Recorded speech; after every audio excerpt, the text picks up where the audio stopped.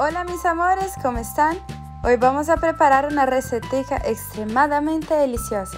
Para empezar vamos a agregar en un sartén 15 gramos de mantequilla y esperar hasta que se derrita. Enseguida agregar una cucharada sopera de azúcar.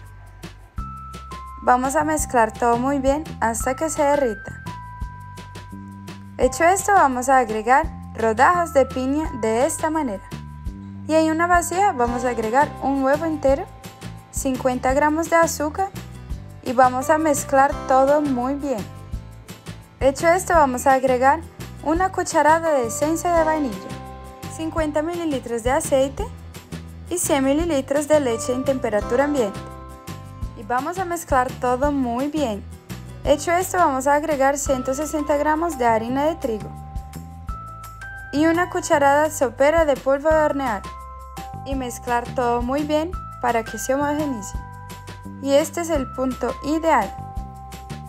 Ahora, dentro del sartén vamos a agregar la mezcla que preparamos. Vamos a esparcir muy bien.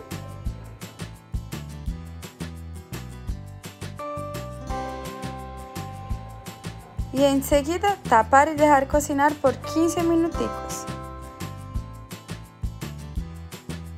Con un pedacito de palo vamos a probar para saber si nuestra masa ya está bien asada. Y acá ya quedó lista nuestra deliciosa recetica. Miren lo provocativo que se ve. Ideal para comer en una tarde con la familia, los amigos. Esta recetica es extremadamente deliciosa y es muy fácil de preparar.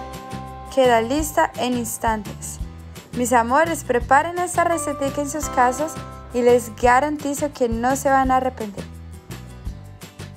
Esta masa queda súper blandita y sabrosa. Mmm, súper rico. Espero que les haya encantado esta recetica y no olviden de dejar en los comentarios desde dónde nos están viendo, así les puedo enviar un saludo súper especial y a la hora de servir pueden poner los acompañamientos de su preferencia.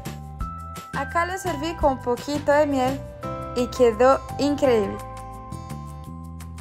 Y esta fue nuestra recetica de hoy. Quédense todos con Dios ustedes y sus familias. Un beso grande y nos vemos en el próximo video. Adiós.